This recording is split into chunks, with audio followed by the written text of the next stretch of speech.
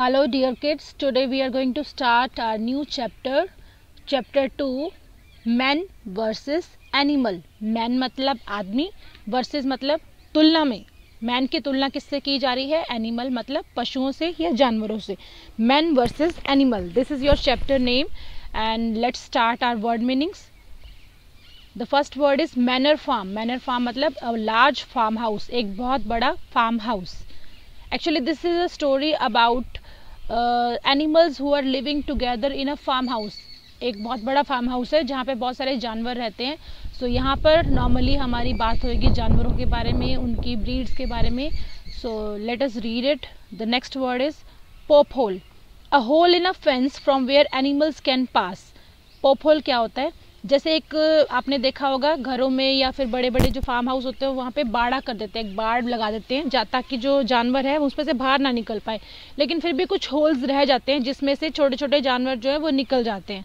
तो ये that is only pop hole जिस एक बाड़े में छेद जहाँ से जानवर गुजर सकते हैं।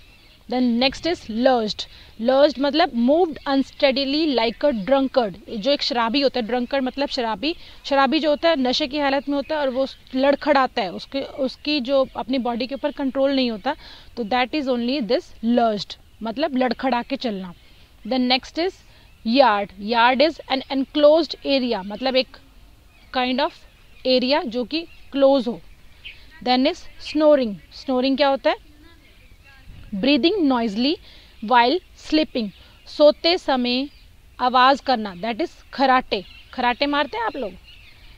सो दिस इज़ ओनली यार स्नोरिंग ठीक है? The next word is stirring stirring मतलब ड्राउजिंग ड्राउजिंग मतलब गर्म जोशी मतलब जैसे कुछ ना कुछ हलचल हो रही है, कुछ ना कुछ चल रहा है मतलब जो वहाँ पे मौजूद लोग हैं या फिर मौजूद वहाँ पे एनवायरनमेंट है, उसमें कुछ ना कुछ हलचल हो रही है। That is stirring then is fluttering fluttering मतलब फहराना या लहराना।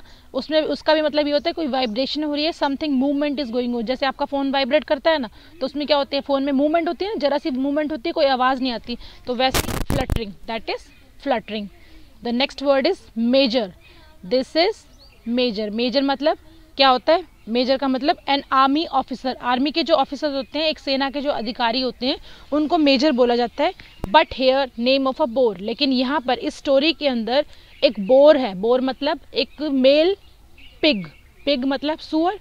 एक सुअर का नाम यहाँ पर मेजर रखा गया है इस स्टोरी के अंदर. The next word is barn barn मतलब a store room for storing animal food पशु भोजन के भंडारण के लिए एक गोदाम, जहाँ पे पशुओं का खाना रखा जाता है, उसको बोलते हैं बान। रेवन रेवन मतलब अ लार्ज ब्लैक बर्ड एक बहुत बड़ा काला पक्षी होता है जिसको रेवन बोला जाता है।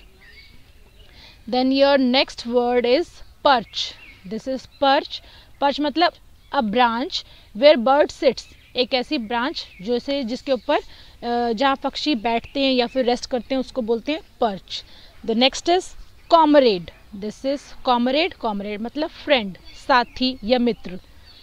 देन स्टॉल स्टॉल मतलब एन एनक्लोजर फॉर एनिमल आपके घरों में भी होता होगा जैसे दो जानवर हैं तो एक जानवर के बीच में एक लाइक रेलिंग काइंड ऑफ़ लकड़ी की लगा देते हैं। मतलब ये उस एक जानवर के लिए, वो दूसरी, दूसरे जानवर के लिए तो इसको बोलते हैं stall then next is atom atom का मतलब क्या होता है?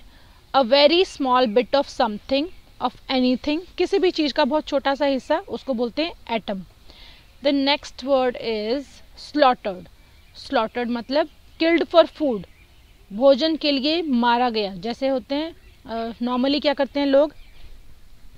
जो जानवर होते हैं जानवरों को जब तक वो दूध देते हैं उनको रखते हैं या फिर जब तक वो काम के होते हैं उनको रखते हैं उसके बाद उनको मार देते हैं उनको काट डालते हैं किस लिए? खाने के लिए. तो that is slaughtered then your next word is hideous hideous मतलब शॉकिंग मतलब चौंका देने वाला।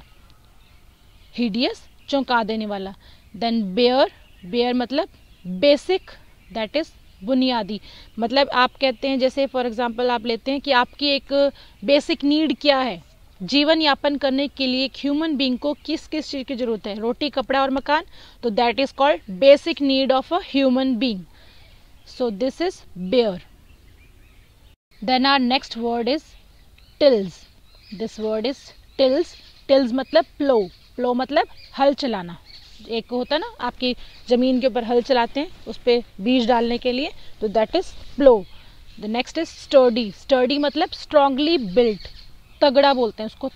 The next is confinement forcefully kept in one close enclose area मतलब एक बाड़े में, एक बंद क्षेत्र में फोर्सफुली रख, बाड़े के अंदर पशुओं पशुओं को रख लेते हैं।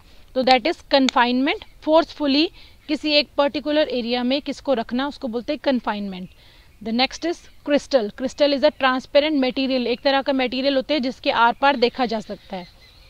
Then is spring from spring from मतलब रिज़ल्ट फ्रॉम मतलब इसका का परिणाम क्या निकलेगा?